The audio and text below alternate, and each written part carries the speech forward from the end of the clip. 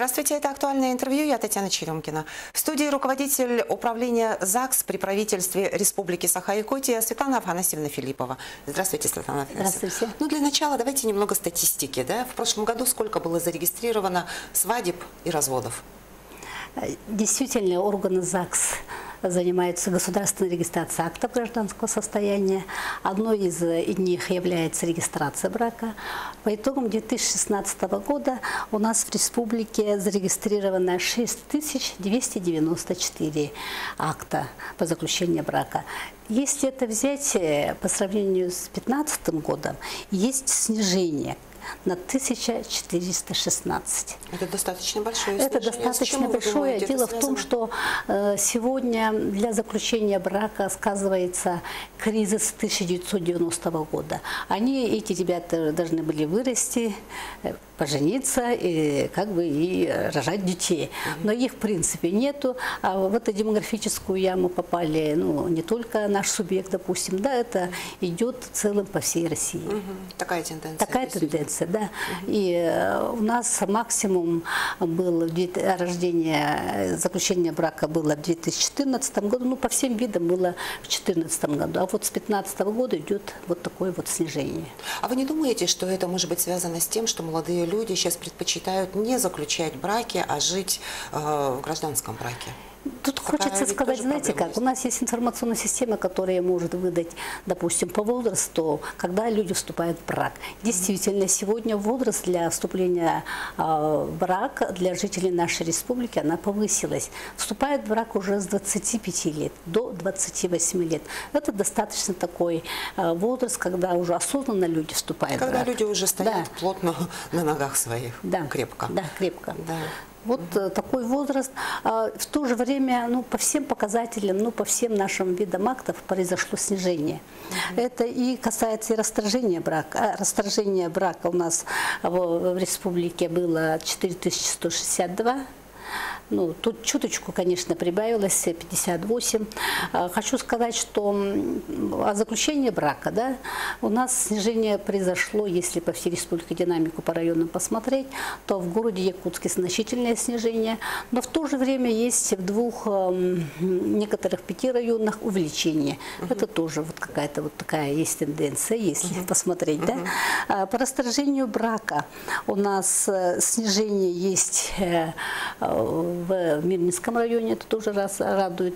По расторжению брака, ну, если даже и в Якутске снижение произошло. Угу. Хотя заключение брака тоже снизилось, и, но в то же время расторжение и брака тоже снизилось. Да, тоже снизилось. Скажите, а сколько маленьких жителей подарил нам прошлый год? Вот, мы зарегистрировали 15 1604 новых гражданина. Угу. Это, в принципе, очень хороший показатель. Сегодня хочу сказать, что по итогам 2016 года рождаемость почти в два раза превышает смертность, что влияет на демографическую ситуацию, на положительную демографическую ситуацию. Э, по итогам 2016 года по естественному приросту и рождаемости э, наша республика занимает первое место Дальневосточном федеральном округе и входит в десятку лучших регионов России. Скажите, пожалуйста, а были ли такие героические мамы, которые решились в 2016 году на четвертого и более детей? Если внутри посмотреть цифры по рождению детей, конечно же, доля первенцев у нас э, чуть снизилась. На первом месте у нас идет доля рождения вторых ребенка, э, детей в семье, потом третьих детей и идет и четвертые последующие дети. У нас, конечно, традиционно наша республика многодетная, как вы знаете, да? А в целом, если так посмотреть, да, у нас э, родилось во втором, ну, вторыми детьми у нас родилось... Ну, в основном это вторые, третьи. А, да, родилось 5417 детей вторыми, да, это 35% составляет от общего, mm -hmm. да, и рождено первенцев, я сказала, конечно, меньше, 5115, но не так мало, да, 33%, mm -hmm. потом третьи идут 3052, четвертыми и более последующими детьми родилось 1910 детей. Тоже хороший И показатель. э, хочется еще одну положительную динамику в этом как бы видеть или сказать. А, Последующие все вторые, третьи, четвертые последующие дети рождаются в законном браке, то есть в полных семьях. Мгм. Светлана Афанасьевна, а какими именами, какими интересными именами нарекали э, детей Э, И у нас есть информационная система, которая тоже можно, мы делаем свою аналитику, да, и как и в, в прошлые 15 годы по итогам, да, самыми популярными именами для девочек стало имя София. Но хочу сказать, как наши молодые родители, видимо, и в тренде во всем мире, как бы София пе- на первом месте идет, да? Ну, можете и и это учитывать, но в самом деле София очень красивое имя. А, Виктория, Алиса, Анастасия, Алина. Э, Валерия и Милана. Вот самые популярные имена. А самые популярные имена это когда более 200 детей, ну, скажем так, в течение года, да, нарекли это и получили это, такие имена, да. А А, что касается а, мальчиков, у нас тоже есть свои популярные имена, тоже. Это Артем, Максим, Александр, Кирилл, Михаил, Тимур и Дмитрий. Скажите, а необычные имена какие-то давали? Да, но, к сожалению, есть у нас и очень тоже интересные редкие имена, которым мы тоже э, анализируем. Это носит э, такое имя один или два ребенка ну, во всей республике. Да? Есть такие имена, но их условно можно разделить на, на какие? На редкие якутские имена, на двойные имена, на иностранные имена и на вообще на оригинальные имена. Вообще, если условно вот редкие разделить. Да? Допустим, редкие якутские имена. У нас Саскалана, э, Нарьяна, Сандара, Харчана, Туйгуна, Аисхана, Айталына Ко. Есть двойные имена. Анна Мария, Любовь Мира, Лейла Саная Ко, Кдана Катерина, Зоя Айглана, Зоя Даяна, Мичия Анна, Анастасия Аико. Это двойные имена. Иностранные имена. Мишель, Женевьева, Мелания, Мелисса, Патриция, Катарина, Габриэла. Старинные имена Просковия, Фаина, Ася, Анфиса, Агафия, Лукерия, Матрена. Оригинальные имена, какие дают детям, да? Э, э, девочкам. Урсалина, Алдана, Евангелия, Лунара, Алазея, Слава, Планета, Альберта. Вот э, Ну, все имена так э, не вызывают никаких, как бы, да, но планета как-то это ну вот, же... да. Да. И мальчики Ну, и тоже, мальчики наверное, у там. нас тоже очень интересно, тоже такие же есть редкие якутские имена. Джулурхан, э, Одун, Аскалон, Даян, Алмаз, э, Эргис, Эллей, Тюмень, Хотой. Хотой. Хотой. Ага. Двойные имена. Эршимен Берген, Александр Ян, Алексей Арчин, Аян Бенедикт, Дархан Гаврил, Богдан Милан. Валерий Арчила, Николай Дархан. Но иностранные, конечно, мы не будем говорить сегодня, да, потому что они э, с- э, тоже, ну, нормальные имена иностранные. Старинные имена Клементий, Устин, Севастьян, Серафим, Сафрон, Тарас, Авраам, Дементий, Мефодий, Лука. А вот есть оригинальные мужские имена. Милан, тоже город, название города, да? Марсен, Адам, Ангел, Будда, Ангел, Дема, ангел Пентер. это уже не единственный же ребенок, да? Уже Это не таким единственное. именем- Каждый год у нас встречается это имя. Ангел.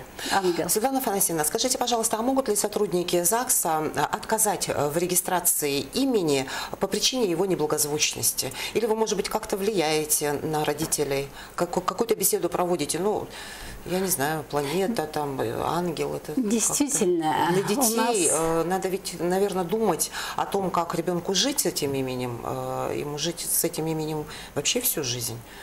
И иметь потом свое потомство, отчество, соответственно, возникает и так далее. Может быть, э, как, э, дискомфорт какой-то возникает э, в общении со сверстниками. Вот родители об этом, интересно, задумываются или нет? Я думаю, что, конечно, родители должны осознанно подходить к имени ребенка. Он уже ведь навсегда, ну, с одной стороны, и будет влиять на судьбу этого человека, да? Скажите, а законодательно мы сегодня вообще работники ЗАГС не имеют права как-то вот влиять на это. Но хочу сказать вот о чем. Э, Законодатели, в принципе, этим вопросом сегодня э, занимаются. да? Я знаю, что Госдума намерена принять закон, который э, запретил бы использовать аббревиатуры, числа, даже, оказывается, такое бывает, Да. мат, ну это где-то, видимо, в России, в центральной, может быть, да, использовать в качестве имен. Ну, наверное, будет принят этот законопроект. Скажите, пожалуйста, а как часто э, люди меняют э, имя, отчество, фамилию и э, по каким причинам? Действительно, мы на этот законопроект, который сегодня находится на рассмотрении э, в Государственной Думе, э, в прошлом году э, написали свой отзыв, мы поддерживаем это, с одной стороны, это нам нужно. А что касается перемены имени, у нас есть вот такой вид государственной регистрации перемены имени. Дети, допустим, до 14 лет законодательно имеют право поменять свое имя и фамилию с- только по распоряжению органа опеки и попечительства. А с 14 до 18 лет вот тот же дети от 14 до 18 лет имеют право тоже поменять, но согласие обоих родителей. А А, а старше 18 лет они могут поменять. Есть у них в жизни разные обстоя- обстоятельства. Может быть, действительно уже так получилось, что их назвали настолько редким именем, потом как-то им неудобно и приходят, меняют. Это законом разрешается. И у нас э, перемена имени э, в по итогам 2016 года она составляет 1068. Ну, это много. Это много, да. И с каждым годом вот как раз перемена имени чуть-чуть увеличивается. Чуть-чуть увеличивается. Видимо, ну, вот мы о том, о чем говорили, что на судьбу влияет, э, как-то вот так, видимо, несозвучно может быть, как-то вот так. Ну, когда к вам вот приходят люди э, с таким вот заявлением о смене, они вам рассказывают вообще, по какой причине они это делают? Или, в общем, это вам не важно?